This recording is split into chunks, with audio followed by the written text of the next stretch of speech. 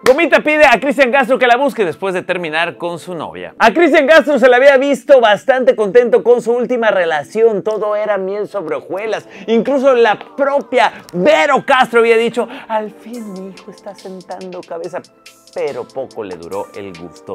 Debido a que, pues, después de una serie de conciertos aquí en México, se acabó el amor. Y vieron a la novia. Como la bikini altanera, preciosa y orgullosa y con lágrimas. Así que, pues, ¿qué fue lo que pasó? No se sabe, pero pues la ruptura ya es oficial.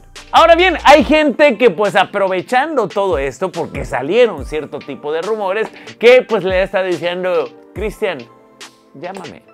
Y no creemos porque pues la belleza de Cristian Castro la haya atraído. Seamos sinceros, tal vez era uno de los galanes de moda en los 90.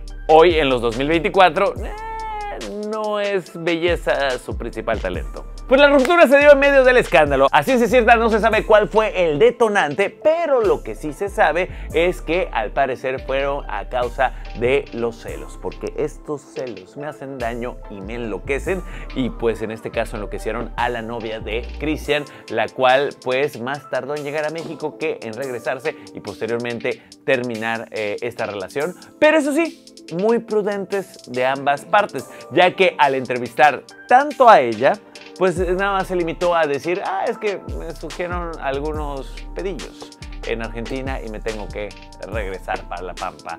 Y por el otro lado, pues eh, Cristian solo se limitó a decir, sí, ya es formar el término. Usuarios de redes sociales aplaudieron también por el otro lado la respuesta de la novia, que también se limitó a hablar bien del cantante, porque muchos le estaban tachando de interesada. Incluso alguien decía por ahí que le compraron hasta los calzones por Cristian Castro y que ella solo estaba por.